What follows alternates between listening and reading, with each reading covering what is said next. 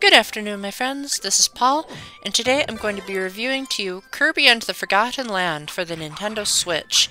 This is Kirby's first mainline game in 3D, which is kind of bizarre because most franchises got their 3D debut on the Nintendo 64, and in some cases the GameCube.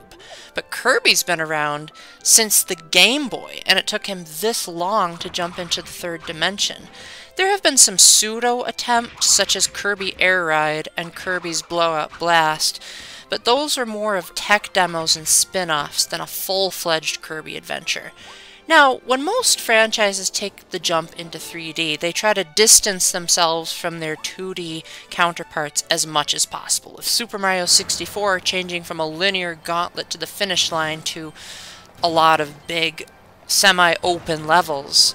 Kirby decides to play it a little bit safer. There's a handful of free roaming levels, but for the most part, these are very linear sandboxes that allow you to walk around a little bit more.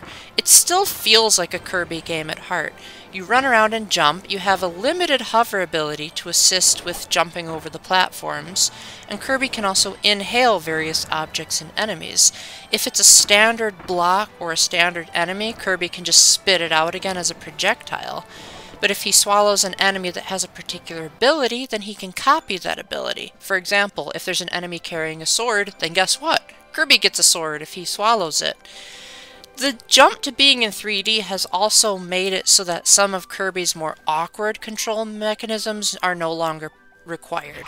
For example, in the old games you would have to double tap on the control pad to get Kirby to run.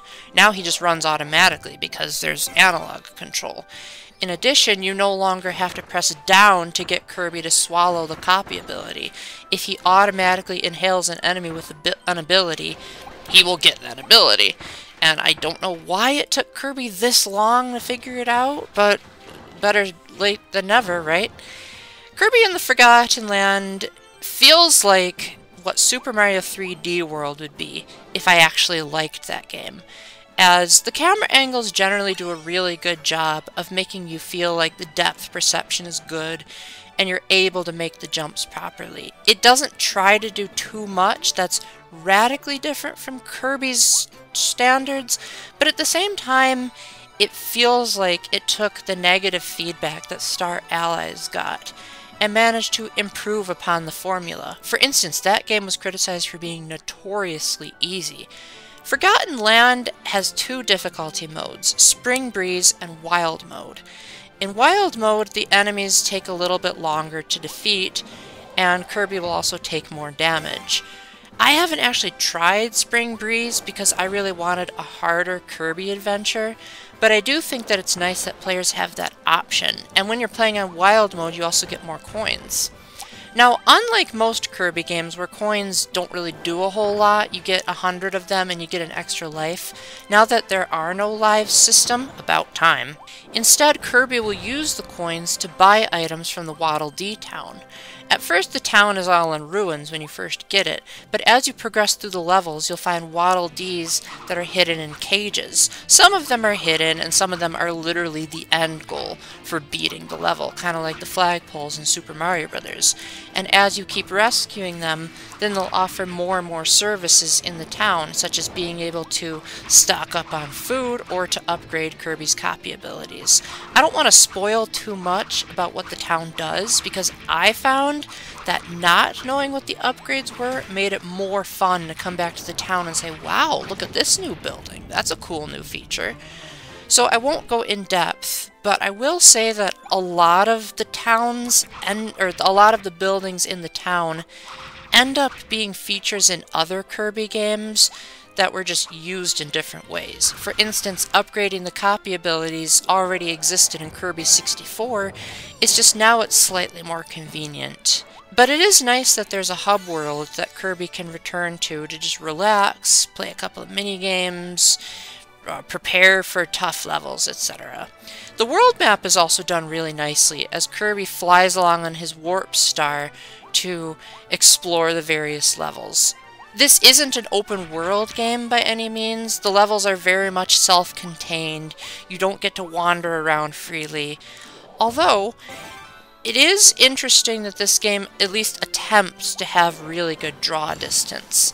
The problem is that when stuff is too far away, even though you can see it, it tends to be both really blurry and really slow. Like the game just screeches to a halt when something is in the background. Some of the later levels have frame rate issues even when things are in the foreground with a lot of stuff happening. Thankfully, there were maybe only two or three levels where I noticed this, so it shouldn't be too bad. I'm sure the critics will probably notice it more than me, but I'm not much of a frame rate guy. I'm the one that only notices when a dramatic slowdown happens. Overall, I found that Kirby and the Forgotten Land did a great job of finally embracing the third dimension, while at the same time feeling true to the roots of Kirby, sometimes to a fault, as I found that the music was generally pretty good, but at the same time, it still had those overly loud synthetic horns as opposed to getting a full orchestra. To make up for the lack of a full orchestra, this game does have some neat surprises in the audio department that I don't want to spoil.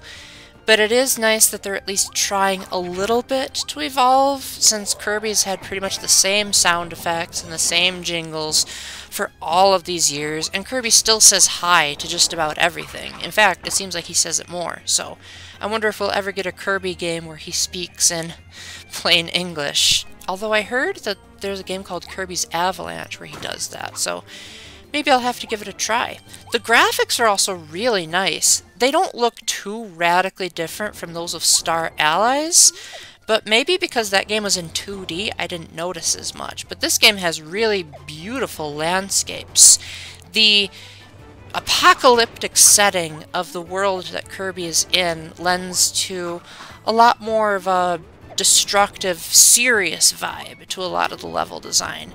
And even if it won't blow your mind, it still manages to showcase that the Switch is definitely capable of some jaw-dropping scenes, even if it's a somewhat cartoony realization. I almost forgot to mention that Kirby has a new ability in this game, and that's not only can he copy enemies, but he can copy objects as well. Well, copying is a bit of a loose term, as really it's more of him just stretching his mouth over inanimate objects and being able to possess them Super Mario Odyssey style.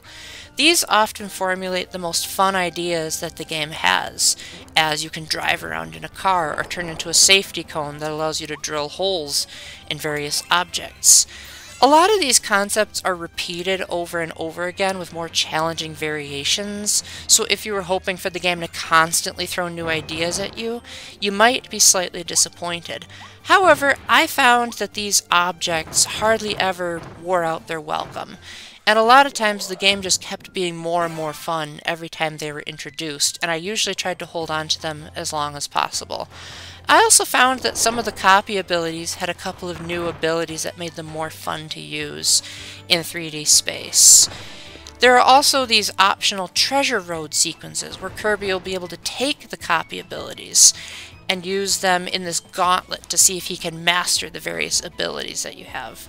Overall, I found that Kirby and the Forgotten Land was a great first step, while at the same time not feeling like it was trying too hard to distance itself from the 2D platformers that came before. I don't know if I would say it's worth the whole $60.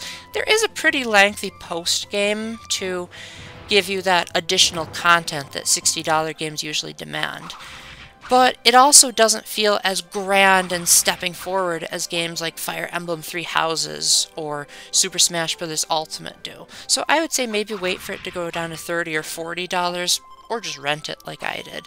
And you should be in for a very fun time. So with that, thank you very much for watching. Let me know down in the comment section if you have any questions or if maybe I left something out.